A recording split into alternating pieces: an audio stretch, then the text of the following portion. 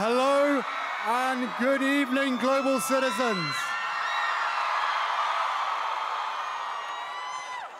Look at all of us here, 60,000 strong, together in New York City. Are we prepared to do what's necessary to end this pandemic?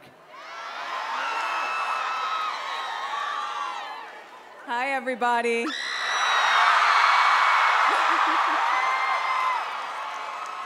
It is so good to be back here with all of you.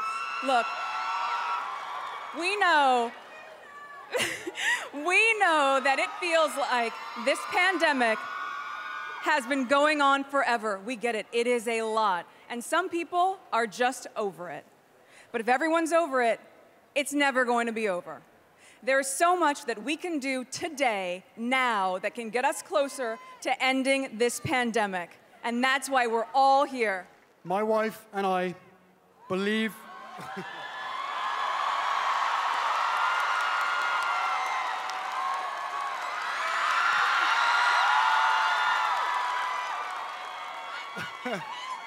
My wife and I believe that where you're born should not dictate your ability to survive.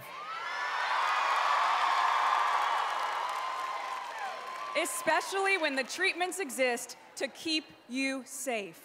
So, global citizens, we ask you tonight do you think we should start treating the access, access to the vaccine as basic human right? Guys, we have what we need to vaccinate the world.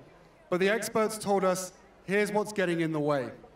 They said many countries are ready to produce vaccines at home, yet they aren't allowed to because ultra wealthy pharmaceutical companies are not sharing the recipes to make them. These countries These countries have the means, the ability, and the workers to start manufacturing. All they are waiting for is the vaccine intellectual property to be waived and for the vaccine technology to be transferred over. And, and by the way, many of these vaccines were publicly funded. They are your vaccines. You paid for them.